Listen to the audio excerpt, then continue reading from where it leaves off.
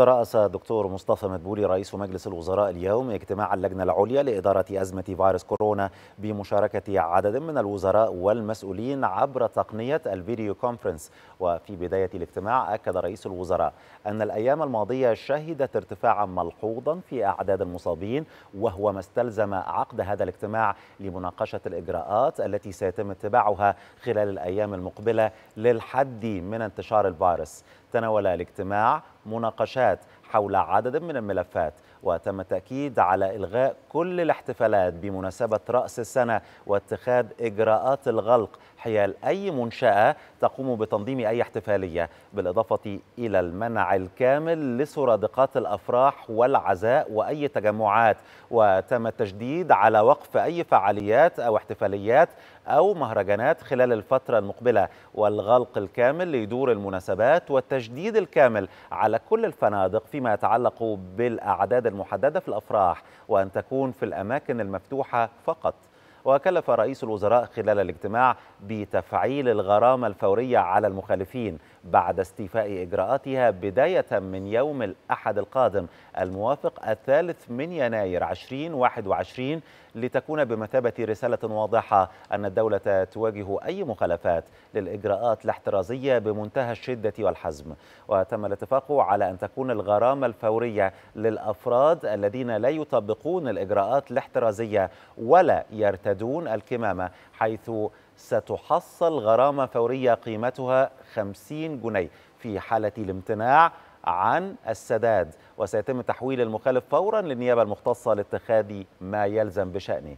كما كلف رئيس الوزراء بمتابعة الالتزام بنسبة 50% في المطاعم والكافيهات وتكثيف الحملات في المحافظات الأكثر إصابة. وتم الاتفاق على تطبيق غرامة فورية على أي مخالفة للمنشآت كالمطاعم والكافيهات بمبلغ 4000 جنيه مع غلق المنشأة لمدة أسبوع على أن يبدأ تحصيل الغرامات الأحد القادم أيضا. وفي حال تكرار المخالفة يتم مضاعفة مدة الإغلاق. وفيما يتعلق بدور المناسبات. فقد تم التوجيه بأنه فيما يتعلق بدور المناسبات التي يثبت مخالفتها وهي تتبع جهات في الدولة فسيتم إحالة المسؤولين فيها للتحقيق الفوري. وفي حالة تبعيتها لإحدى الجمعيات سيتم تطبيق الغرامة ثم اتخاذ إجراءات ضد مجلس إدارة الجمعية.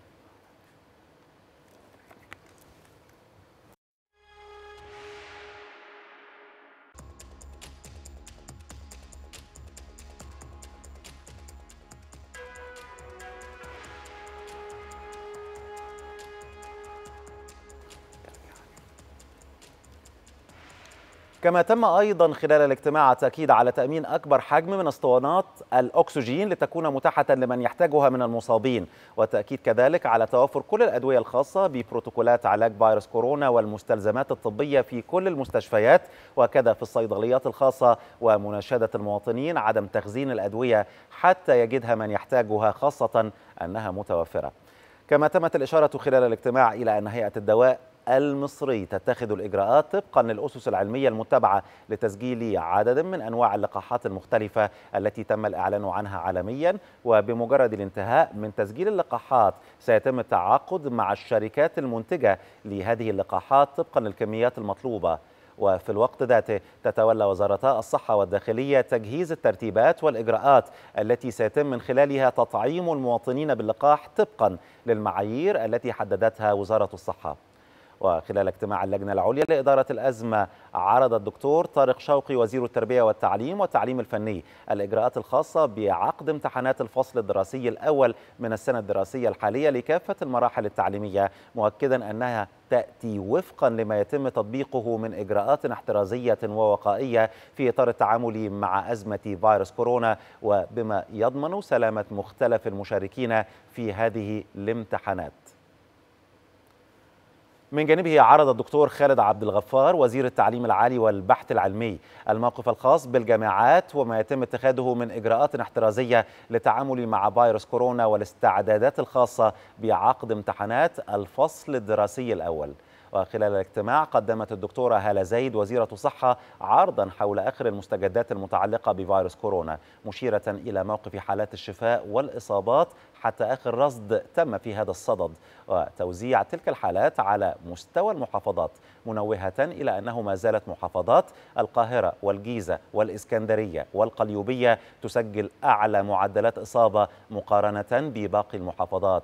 وتتراقت الدكتورة هلا زايد خلال العرض إلى جهود الوزارة لزيادة استعدادات المستشفيات التي تتعامل مع حالات الإصابة بفيروس كورونا خاصة ما يتعلق بتوافر الأسرة الداخلية وأجهزة التنفس. وأسرة الرعاية المركزة وأيضا الموقف التنفيذي لدعم القطاع الصحي بالأكسجين المسال لمواجهة الموجة الثانية من جائحة فيروس كورونا وما يتم من إجراءات والتي من بينها مراجعة شبكات الغازات في كل من مستشفيات الحميات والصدر والعزل فضلا عن العمل على رفع كفاءة المستشفيات العلاجية. إلى جانب ما يتم من تعاقدات مع الشركات الموردة لتلبية احتياجات ومتطلبات المستشفيات من الأكسجين المسال وتوفير احتياطيات منه لتغطية تلك الاحتياجات.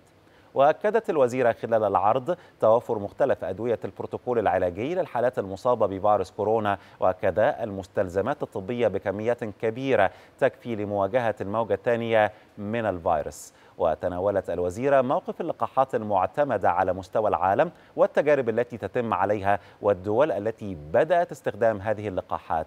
لافتة إلى أنه على المستوى المحلي فقد تم الانتهاء من موقع التسجيل للحصول على لقاح فيروس كورونا ومناقشة واستعراض الإجراءات التي سيتم تطبيقها في الأماكن التي سيقدم من خلالها اللقاحات.